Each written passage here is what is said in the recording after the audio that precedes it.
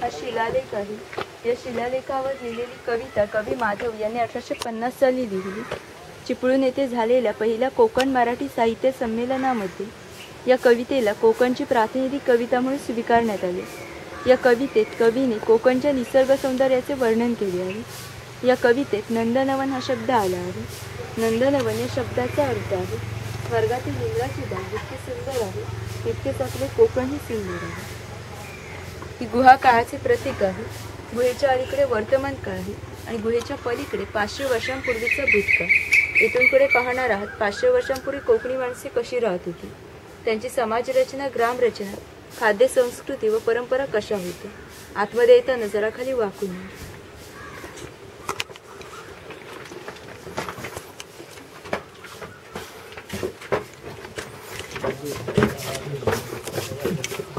वाकून या.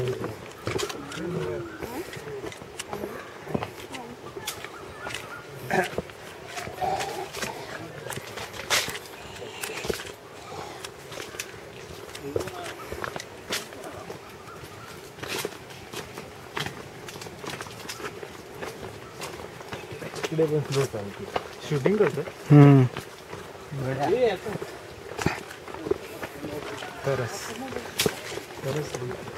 आपटाचे पूर्वज आहेत ते. तुझा फोटो होता बघितला तिकडे. प्रतिकृती ही.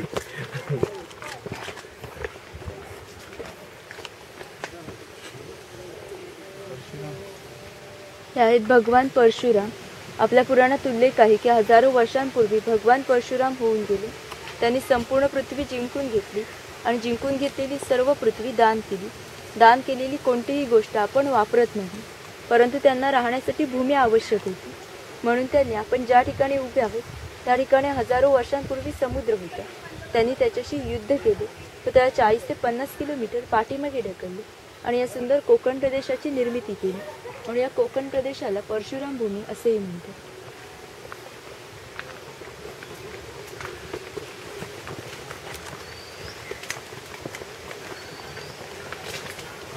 परशुरामाचं गणपती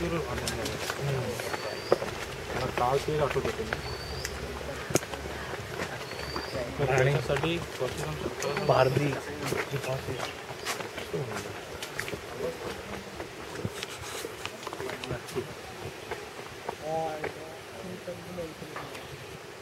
किती प्रतिकृती हा वनवासी आहे. कोकणातील दुर्गम पर्वतामध्ये हे वनवासी लोक राहत असत. त्यामध्ये भिल्ल व कातकरी जातीचा समावेश आलेला होता. त्यातील कातकरी समाज हा दाखविला आहे.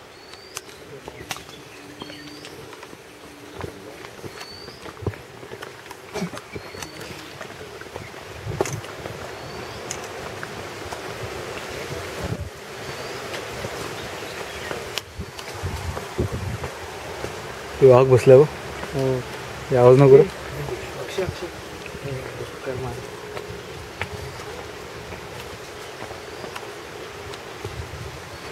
मला वाटलं तर पाय बिया पडतोय की काय.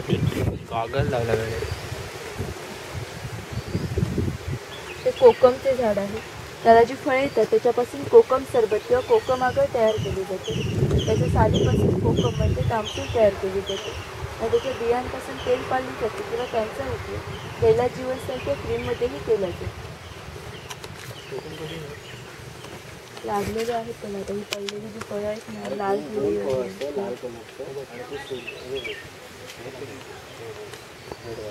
ते खाऊ शकतो. हे वरचं सोळ काढलं हे वरचं साल काढलं. हे चिरफळाचे झाड आहे. चिरफळाची फळे जंतुनाशक आहे. म्हणून त्यांचा उपयोग शेतकरी धान्य साठवण्यासाठी करतात तसेच त्यांचा उपयोग गरम मसाल्यासारख्या पदार्थांमध्ये केला जातो.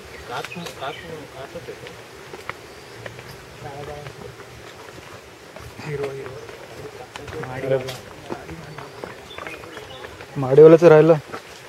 माडीवर दाखवलं आहे.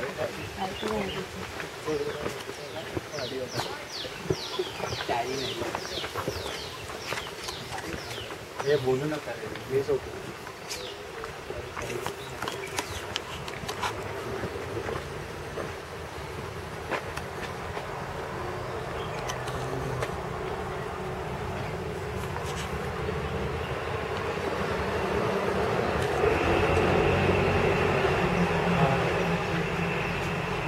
ग्रामदैवत आहे. पूर्वी धार्मिक संस्थाच गाव नियंत्रित करीत असत गावातील सगळे गावकर येथे एकत्र येत असत जर गावातील दोन व्यक्तींची भांडणे झाली तर सगळा गाव एकत्र येऊन गावप्रमुख त्यांच्यासमोर न्यायदान करीत असे. आणखी वर्षभर देवळात जाऊन देवाचे दर्शन घेते. पण जेव्हा आपल्याकडे शिमग्याचा सण असतो तेव्हा हा देव या पालखीमध्ये बसवून प्रत्येकांच्या घरोघरी नेलं जाते. म्हणजेच कोकणी माणूस आणि देव यांचं नाते इतके जवळचं आहे की आमचं एकमेकांकडे जाणं येणं असतं. या देवीचं नाव वाघझाई आहे. आम्ही हे जाणीवपूर्वक ठेवलं. असं म्हणतात की ज्या निसर्गामध्ये वाघ आहे तो निसर्ग समृद्ध होता आणि त्याला आमच्या भावविश्वामध्ये देवत्वाचं स्थान होतं. आम्ही कोकणी माणसं वड पिंपळ साप यांची पूजा करतो. म्हणजेच आम्ही निसर्गपूजक माणसं आहोत. म्हणून आम्ही या देवीचं नाव घेतो. प्रत्यक्ष निसर्गाशी संबंधित असंच केलेलं आहे वाघजाई यांची काही पारंपरिक वाद्य आहेत लाकडी ढोल आहेत मातीचे ताशे आहेत. म्हणजे त्यांचा खालील भाग हा मातीचा बनवला आहे. ते ताशे एकशे दहा वर्षांपूर्वीचे जुने आहेत. जर वाजवणारे कसबी असतील तर त्यांचा आवाज दोन ते तीन किलोमीटरपर्यंत जात असेल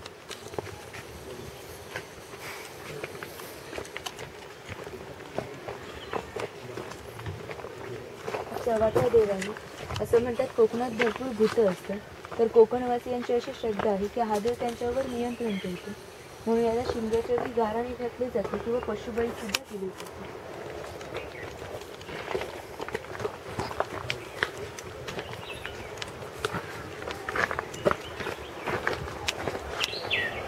छत्रपती शिवाजी महाराजांचे आरमार आहे. शिवाजी महाराज हे पहिले असे राजे होते की ज्यांनी आरमाराचं महत्त्व होते की बलाढ्य आरमार उभं केले. त्यावेळी कोणत्याही भारतीय राजाचे एवढे बलाढ्य आरमार नव्हते. आपण ज्या ठिकाणी उभे आहोत तिथपासून पस्तीस किलोमीटर अंतरावर संगमेश्वर नावाचे गाव आहे. तिथे शास्त्री नावाची नदी वाहते. तिच्या संगमावर शिवाजी महाराजांनी जे लढाऊ युद्धनौका उभारली संपूर्ण भारताची पहिली लढाऊ युद्धनौका होती संगमेश्वरी नावाची तिच्या आठवणीने आम्ही या आरमार उभारले. शिवाजी महाराजांच्या बाजूला उभे आहेत मायनाईक भंडारी. हे आरमाराचे प्रमुख होते. हे दौलत खान हे आरमाराचे अधिकारी होते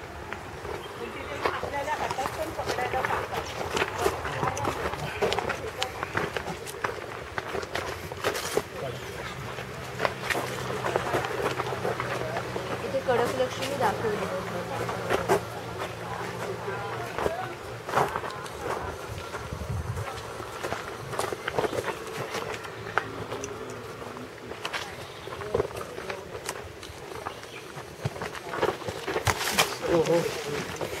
पडशील पडशील मला मागे वगैरे खाली माझा ही कोळी आहे. कोळी समाजाची लोक समुद्राच्या इतकी जवळ राहते. की समुद्राच्या भरतीचे पाणी सुद्धा त्यांच्या घराला लागून जाते. एवढी छोटी होडी घेऊन हे कोळी लोक आठ ते दहा तास खोलवर समुद्रामध्ये मासेमारी करतात कधी कधी समुद्रामध्ये उसळणाऱ्या लाटा या त्यांच्या होडीपेक्षाही मोठ्या असतात. तरीही हे लोक कुशलतेने होडी वल्लवतात आणि पहाटेच्या वेळी परत येतात.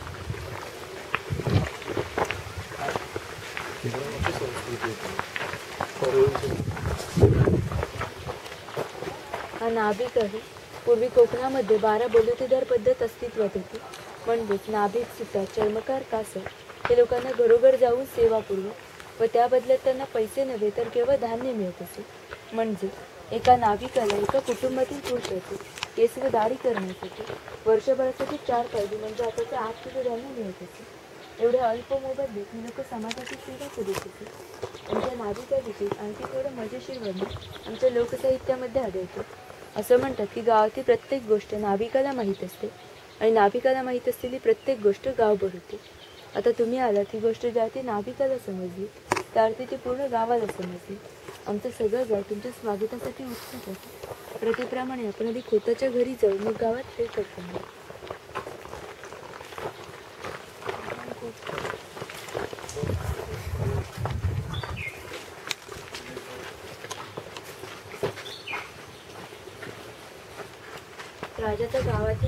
गावातील ते प्रतिनिधी धार्मिक व राजकीय बाबतीत पहिला मान खोताचा असतो खोत गावाचा प्रमुख असतो गावात न्यायदान करणे महसूल गोळा करणे कायदा व सुव्यवस्था सांभाळणे इत्यादी कामे खोताची असे. खोत लोक जमीनदार असे सर्वसामान्याकडे सुख वस्तू असे. त्यांच्या बसण्याच्या लघवीवरूनच ते कसं ऐशाराम जीवन जगायचे याची तुम्हाला कल्पना येईल ती खोताची बायको आहे. पूर्वी कोकणी स्त्रिया सुंदरही होत्या आणि शूरही होत्या परंतु त्यांना स्वातंत्र्य नव्हते. माझघराचा उंबरठा हीच त्यांच्यासाठी मर्यादा होती. ही दोन खोताची मुले. ती आपला एक परंपरागत खेळ सोंगट्या खेळत आहे. हाच खेळ महाभारतात धर्मराज आणि दुर्योधन यांच्यामध्ये जीवच्या या नावाने खेळला गेला. या घराची रचना पहा खोत ज्या उंचवट्यावर बसते तिला ओटी म्हणते. गावातील मान्यवर लोक ओटीवर बसेल. ती समोर आहे ती पडवी. गावातील सर्वसामान्यांनी या पडवीला बसवते. खोताच्या उजव्या बाजूला आहे देवघर. खोताच्या मागे आहे माझघर. आणि या साईडला आहे स्वयंपाकघर. या घरची छप्पर पहा. वरती छोटी छप्परमध्ये गॅप खाली मोठी छप्पर आहे. कोकणात उष्णता फार असते. त्यामुळे घाती उष्ण हवा या गॅपमधून बाहेर पडते व बाहेरची थंड हवा तिची जागा घेते. त्यामुळे घरातील वातावरण हे नेहमी थंड राहते.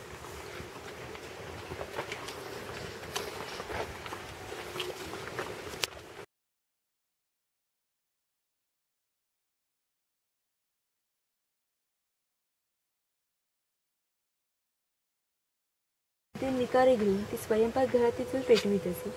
जर हा विस्तव भिजला तर घरामध्ये दोन गारगोट्या ठेवलेल्या असेल. त्या एकमेकांवर घासून हा विस्तव केला जातो ही खोयणी आहे हिचा वापर मासे पकडण्यासाठी केला जातो इथे वेलीने बांधून ती पाण्यामध्ये ठेवली जाते. तिची अंतर्गत रचना अशी आहे आत गेलेला मासा कधीही बाहेर पडू शकत नाही. तिची शेणाने सरवलेली टोपली आहे तिला कोकणी भाषेत कणगी म्हणतात त्यामध्ये धान्य ठेवून वरती चिरफळाची फळे पसरवून झाकण लावून हे सर्व बाहेरून शेणामातीने लिपून घेतली जाते. त्यामुळे आतील धान्य तीन ते चार वर्षे सहज टिकते. शेतकऱ्याची बायको तांदूळ पाकडते. शेतकऱ्याची मुलगी भातुकलीचा खेळ खेळत आहे आणि समोर कोकणातील गौरी गणपतीचा सण दाखवला आहे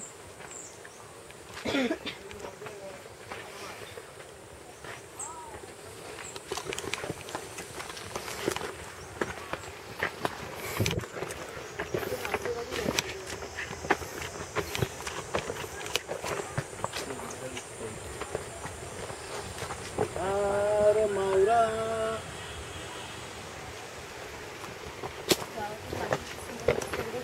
कुंभार करीत असतो म्हणजेच गणपतीचे दिवस आले की लहान मातीचे गणपती तयार करणे उन्हाच्या वेळी मडकी तयार करणे आणि दिवाळीच्या वेळी पंटा तयार करून त्या प्रत्येकांच्या घरोघरी जाऊन पोहोचविण्याचे काम हा कुंभार करीत असतो.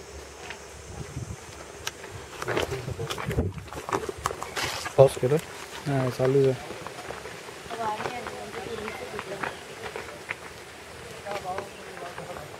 वैश्यवाणी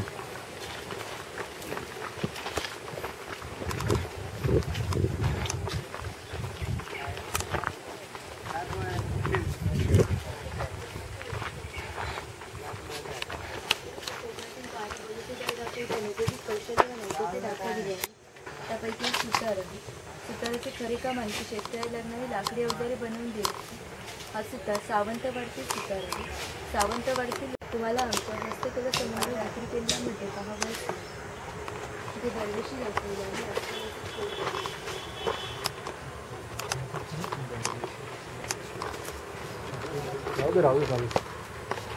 बॅटरी संपायला आली रे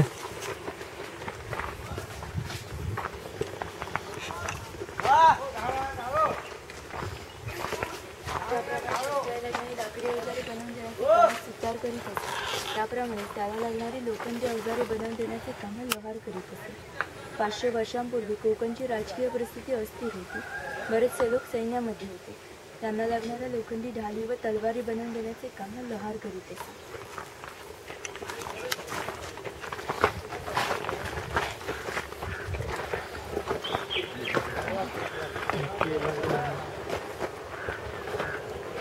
तेही आहे तेलाचे घाण आहे याला कूट असे म्हणतात त्यामध्ये खोबरे घातली जाते. जे उभे लाकूड आहे त्याला लाट म्हणतात. या आडव्या लाकडाला विलाट अशा तऱ्हेने बांधली जाते जेणेकरून ती उभी राहते त्या ठिकाणी जोखण्याला बैल बांधला जातो. दगड बैल बळ फिरवले जातात त्यामुळे आतील खोबरे रगडून त्याचे तेल निघते. ते जर तेल भरून काढायचे असेल तर प्रथम जोखण्याचे बैल सोडायचे. जोकड बाजूला करायचे.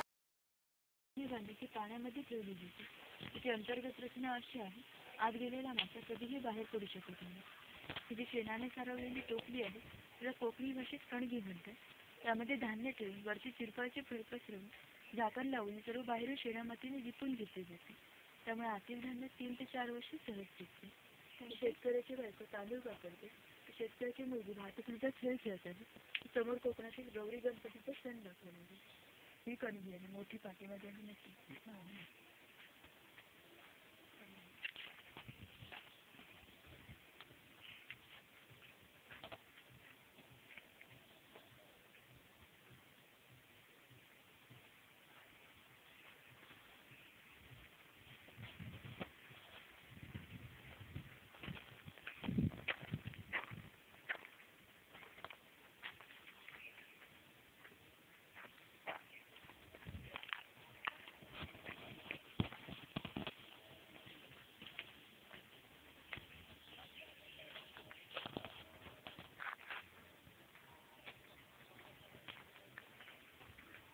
गावातील मातीशी संबंधित सर्व कामे कुंभार करीत असे. म्हणजेच गणपतीचे दिवस आले की लाल मातीचे गणपती तयार करणे उन्हाळ्याच्या वेळी मडकी तयार करणे आणि दिवाळीच्या वेळी पंट्या तयार करून त्या प्रत्येकाच्या घरोघरी जाऊन पोहोचविण्याचे काम कुंभार करीत असे.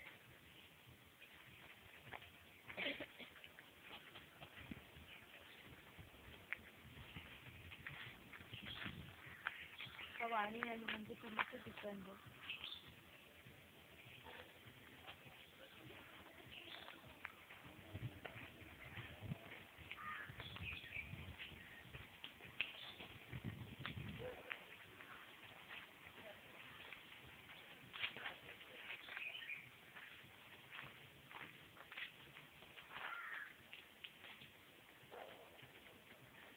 कोकणातील बारा बोलीची दाखवली त्याला जे ती कौशल्याने नेसाची दाखवलेली आहे त्यापैकी सुतार आहे सुताराचे खरे काम आहे की शेतकऱ्याला लागणारे लाकडी वगैरे बनवून देण्याचे.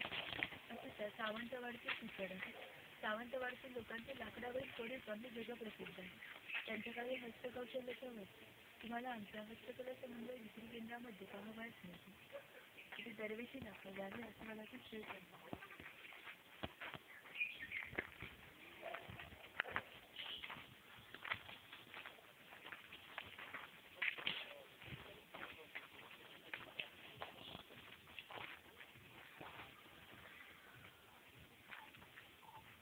ज्याप्रमाणे शेतकऱ्याला लागणारी लाकडी अवजारे बनवून देण्याचे कामं सरकार करीत असते त्याला लागणारी लोखंडी अवजारे बनवून देण्याचे काम व्यवहार करीत. पाचशे वर्षांपूर्वी कोकणची राजकीय परिस्थिती असे होती बरेचसे लोक सैन्यामध्ये होते. त्यांना लागणाऱ्या लोखंडी ढाली व तलवारी बनवून देण्याचे काम व्यवहार करीत असते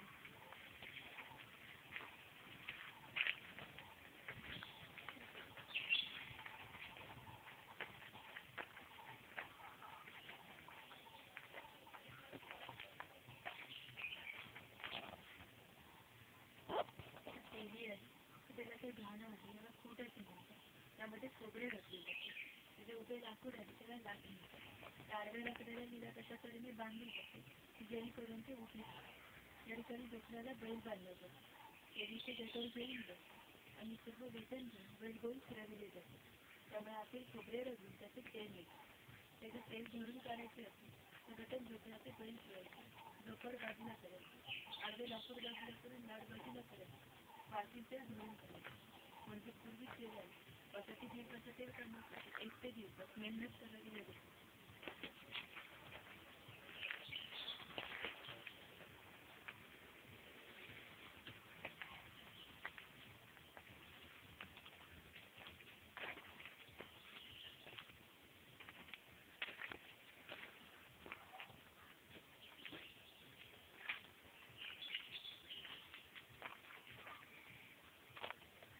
पूर्वी प्रत्येक व्यवसायाला जातीने नाही केला जात. असे व्यवसाय निवडीचे स्वातंत्र्य नव्हते प्रत्येकाला आपापल्या जातीचाच व्यवसाय करावा लागत असे बांबूच्या वस्तू बनवण्याचे कामं बुरुज करीत होते ही रोवळी आहे धार्मिक कार्य खूप महत्त्वाचे स्थान आहे जेव्हा आपल्याकडे शुभ कार्य असते तेव्हा घरातील कुमारिका किंवा सौभाग्यवती स्त्रिया या रोवळीमध्ये दिवा लावून हातात घेऊन उभ्या असते जे शुभ कार्य पार पडण्यापूर्वी हा दिवा विसला तर ते अशुभ मानले जाते.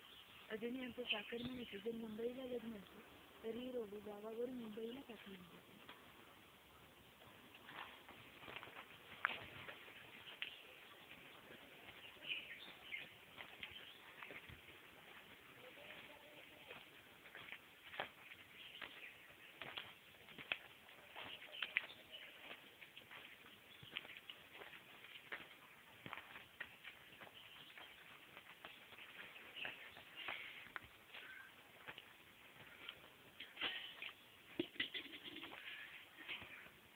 मोदक पात्र आहे म्हणजे पूर्वीचा कोकणी कुकर. त्यामध्ये खाली पाणी ठेवलं जातं. त्यावेळी चाळण ठेवून चाळणीवर केळीचं पान ठेवलं जातं त्यावरती मोदक ठेवले जाते ते झाकण मोदक पात्र चुलीवर ठेवले जाते. त्यामुळे आतील मोदक शिजून निघते. पुरण यंत्र आहे. त्यामध्ये डाळ घातली जाते म्हणजे वाटून फिरविली जाते. त्यामुळे आतील डाळ वाटून निघते. तेथून बाहेर काढली जाते. ही जातणी आहे यामध्ये धान्य दळून निघते. ती जातणीसारखी आहे त्याला जिरट म्हणतात. त्यामध्ये भात घातली जाते. त्यामुळे अख्खा तांदूळ बाजूला होतो व पुन्हा बाहेर पडतो. हा शेड्याचा लाकडी पाट आहे. तो शेड्याचं लोखंडी यंत्र आहे. आणि हा पूर्वीचं टिफिन बॉक्स आहे. वरती पाण्यासाठी तांब्यात आहेत. खाली तीन डबे आणि बाजूला दोन चमचे आहेत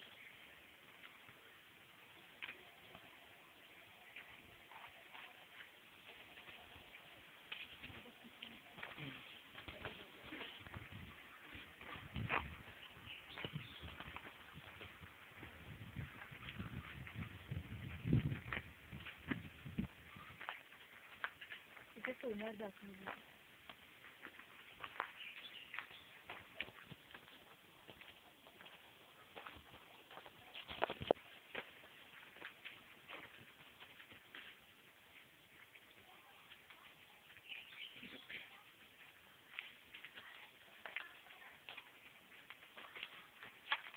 मगाशी सांगितल्याप्रमाणे बारा बलूचे द्यावे त्यांना घरोघर जाऊन सेवा पूर्व त्याप्रमाणे हा काका मुलीच्या घरी आला आहे हे त्या मुलीचे घर आहे. पूर्वी कोकणातील मुलींची लग्न वयाच्या आठव्या किंवा दहाव्या वर्षी होत असत तोपर्यंत हा काकाच्या मुलींना विना मोबदला बांगड्या भरत असे जेव्हा या मुलीचे लग्न होईल तेव्हा तिचे वडील या काकाला एक छोटंसं सोन्याचे दागिने भेट म्हणून देत असे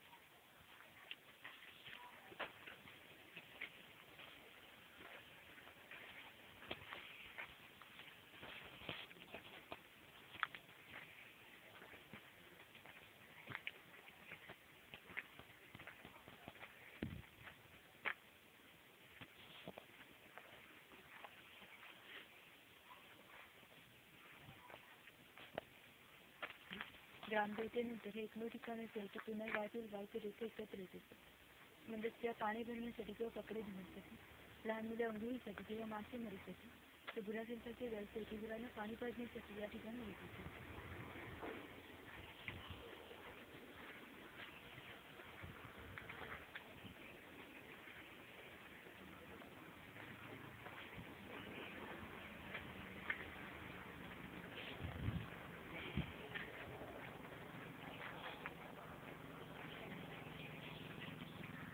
चांगल्याच्या वस्तू बनवून सांगत काम करतात आणि त्या जोडी लांब्यांचा एक प्रसंग सांगतो जे पाचशे वर्षांपूर्वी घडलं.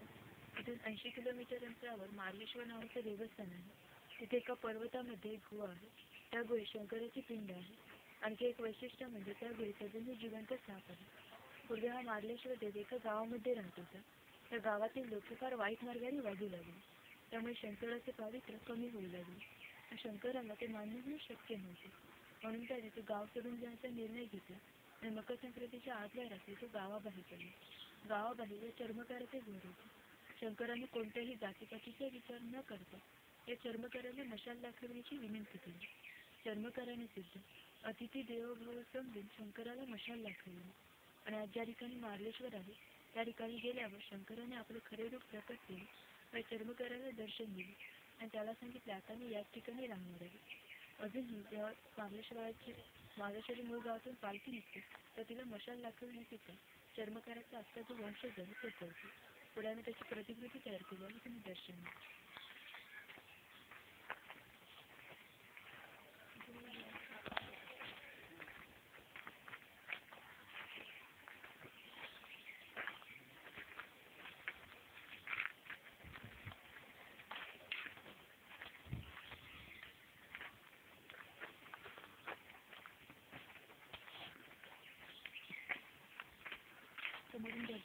दर्शन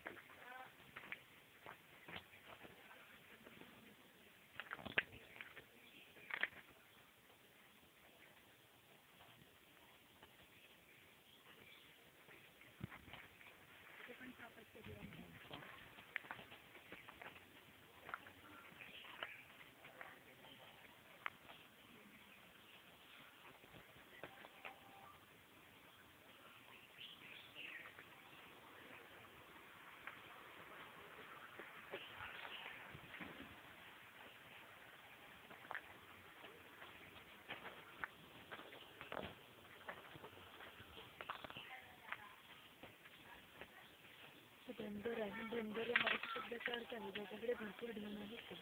ते. धनगर जगतच्या दुर्गम ठिकाणी राहत होते.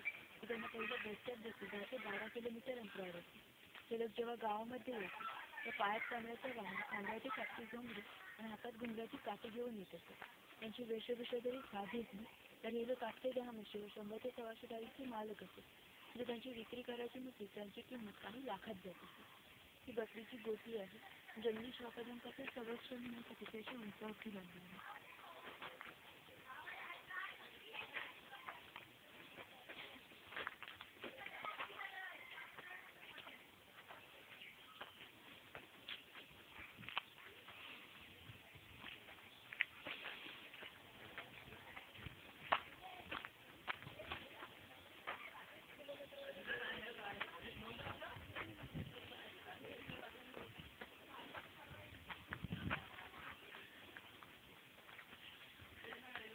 आहे ते खैराचे झाड आहे याच्या आतील लाल रंगाच्या खुरापासून कात तयार केले जाते तिथे कात